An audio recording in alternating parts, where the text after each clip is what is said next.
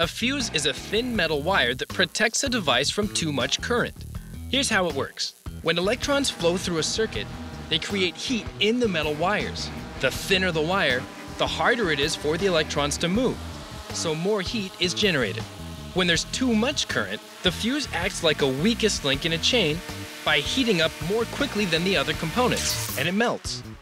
That breaks the current flow and protects the more expensive components from damage by heat or fire. If a motor draws too much current too quickly, the fuse will blow.